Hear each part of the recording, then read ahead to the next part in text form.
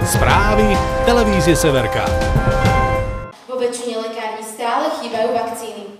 Krajské kolo populárnej súťaže mladých moderátorov Sárova Bystrica sa uskutočnilo na radnici mesta Žilina. Podujatie, ktoré nesie meno prvého hlásateľa Slovenského slobodného vysielača z čia Slovenského národného povstania Ladislava Sáru, bolo možnosťou pre mladých ľudí priblížiť sa svojim mediálnym vzorom z televízie či rádia. Vyhlasovateľ súťaže Sárova Bystrica, Krajské kolo moderátorov je Žilinský samozprávny kraj, Krajské kultúrne stredisko v Žiline a mesto Žilina, kde sa už v meste Žilina koná 16. E, ročník, e, na základe čoho kedysi v meste Žilina nebolo žiadne krajské kolo.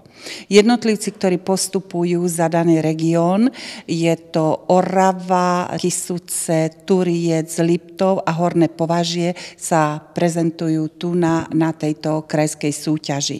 Oproti minulému roku vidíme záujem e, väčší, pretože tohto roku nám postúpilo do krajského kola 22 súťažiacich, zastúpených v dvoch kategóriách. Jedna kategória je od tých 15 rokov do 18, druhá je od 19 do 25. No a súťažia v spravodajstve, v reklame, v improvizovanom texte a v rozhovore.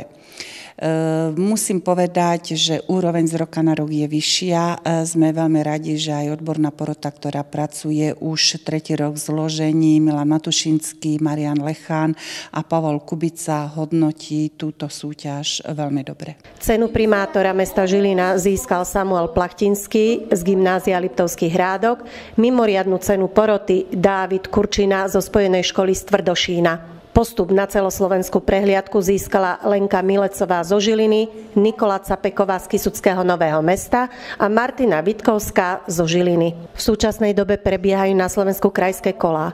Výťazi tohto zápolenia sa zúčastnia celoštátneho kola postupovej súťaže mladých moderátorov Sárova Bystrica, ktorej usporiadateľom je Stredoslovenské osvetové stredisko v Banskej Bystrici.